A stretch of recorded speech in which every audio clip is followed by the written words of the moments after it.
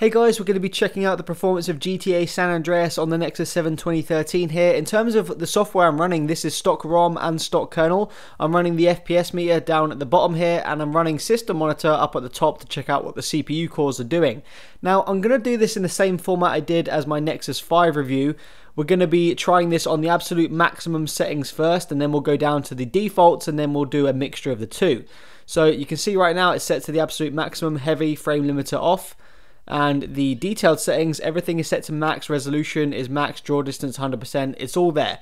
So yeah we'll start this game again and see what happens. Okay so here we go. Now don't forget 30 frames per second is basically the max frame rate we can hope for here. Even with the frame limiter off that's what Rockstar have set this game to. You can see at a standstill on maximum settings the Nexus 7 is kind of struggling here. It's already around 20 frames per second. So let's just move around a bit see what happens Wow, okay, so when you start to get to the road, you can see it's just dropping significantly 12 frames per second, a minimum of 10 here, a minimum of 8 now. And if we just pan around, you can see this is the definition of unplayable right here. It is a slideshow. So, um, yeah, not doing very well here at all on absolute maximum. Let's uh, see if we can actually get into a car. Can we get into a car? We can, but you can just see here how horrible this really is. It's uh, it's definitely struggling. You can see the CPU cores in the top left-hand corner. It's again only using two of them. Let's see if we can drive out of this bit. you can just see 13 frames per second, 18. Once you get out of the uh, area where there's loads of cars, the frame rate does increase a little bit, but that's not really going to help you because when stuff starts to get a little bit hectic, when you've got a few cops on you, it's going to basically become unplayable. There's really no point in me testing these max settings any further because you can see it's just struggling pretty pretty heavily here.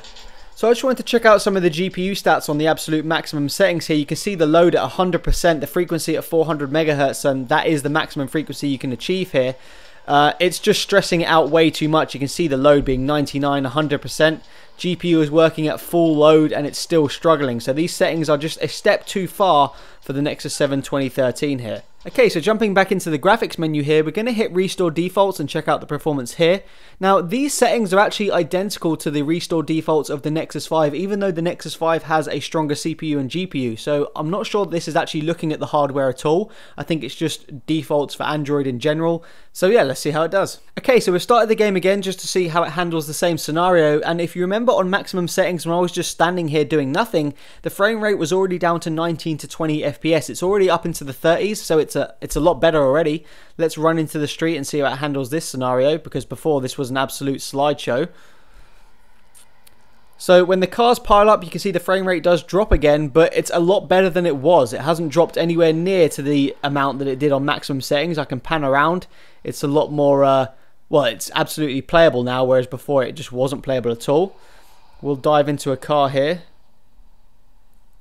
Jump in. Analog. So yeah, again, the frame rate is just a lot higher. Now, obviously, you have lost quite a bit in terms of resolution and visual quality. The resolution is now down to 50%, and I'm not sure if that's coming through on the camera, but that is definitely noticeable in real life. It's just not quite as sharp.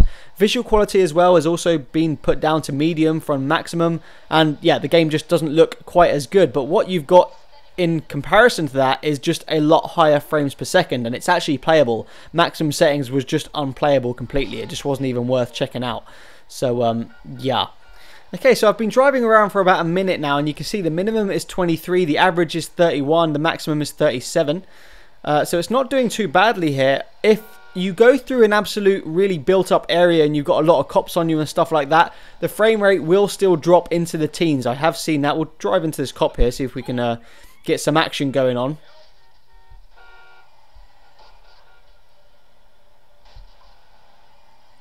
Come on, cops. Here we go. So there's a fair few cars on the road now. I've got a few cops on me. Stuff's starting to get a little bit more hectic. trying to kill this cop here, but I'm failing badly. Minimum is now 20. We now have two cops on me. So on maximum settings, this would be probably like 5 FPS. It would struggle horribly. Uh, but the minimum it's dropped to here is 20, so it's a lot better. It's a lot more playable at least. Um, yes, you've taken a big hit, but it's worth it if you can actually play the game. So checking out the GPU stats for this graphics setting, you'll see the GPU load has decreased. It's around 70 to 80% now. Although when you go into a high built up area, you'll see it still jumps into the 90s. So uh, even though it has decreased, it's still pretty damn high for this graphics setting. And what that basically tells me is the Adreno 320 is still under heavy load even at these graphics settings. In comparison, when I actually used these settings on my Nexus 5, the load dropped to around 60 to 70%, and it didn't really increase off that, so it just shows you how much stronger that Adreno 330 is. You'll also see the frequency is locked in at 400 megahertz, whereas on the Nexus 5 it was fluctuating down because it could handle it without a problem. So what this essentially tells me is the Adreno 320 GPU, you can see the load being 99% here, is still being pretty damn stressed even at these mediocre settings. So I've done a little bit of tinkering with the graphics settings and really I found that I couldn't really change them too much off what the restored defaults were saying. The resolution I've bumped up to around 80%, I've put the draw distance down to 41, I've turned the shadows to classic and I've turned car reflections off. So it's not much of an increase there but I do think the game looks better. So let's test these out. Okay, so what I didn't show you is I also changed the traffic mode to light to see if that helps the performance. And straight away, the game just looks better to me thanks to that 80% resolution. It's just a hell of a lot sharper and it looks great on a display that the Nexus 7 2013 has. Let's see if there's any major decrease in performance. Go into this uh, hectic area where the cars are at. So definitely not as many cars on the road here, you can see that and it dropped to don't take into consideration that 9 that's that's a lie that was just when it was loading. I think it dropped to around 23 fps here which uh, isn't bad at all. A few more cars now. But yeah not bad. You can see a minimum there of 23 we'll, we'll jump in a car and see what happens.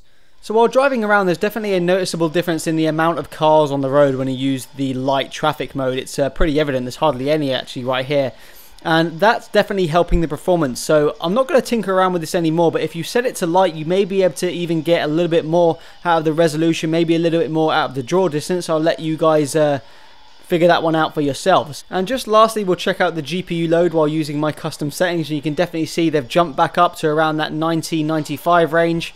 So uh, definitely a little bit more stress thanks to that added resolution. So yeah, there you go guys. Let me know what you think about the performance with the Nexus 7 2013. Let me know if you find out any epic settings that make it buttery smooth and still look pretty good. Yeah, peace out.